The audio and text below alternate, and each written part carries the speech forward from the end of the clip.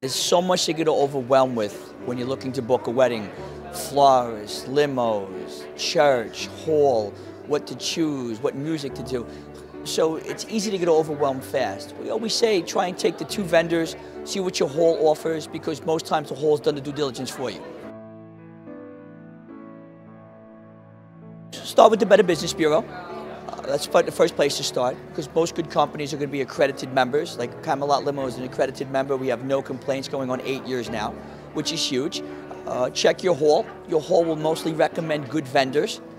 And Camelot Limo is recommended by the Woodbury Country Club. Uh, and lastly, you know, you do your due diligence, go to the facility, see the actual cars. It's easy to get bait and switch with companies that don't actually own them. Going to the facility, meeting the people that you're going to actually deal with is humongous.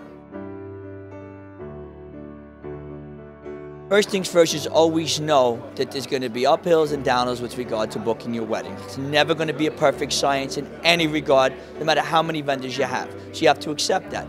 But secondly is, is that for the most part is if you pick quality vendors, they do this six, seven hundred, a thousand times a year. So they got it down to a science. I mean, we did a thousand weddings at Camelot Limo last year, over 6,000 runs in total. So we already know exactly what's expected, we already know exactly what we're looking for, and we know how to plan and plot your day accordingly to make sure everything runs as smooth and hassle-free as possible.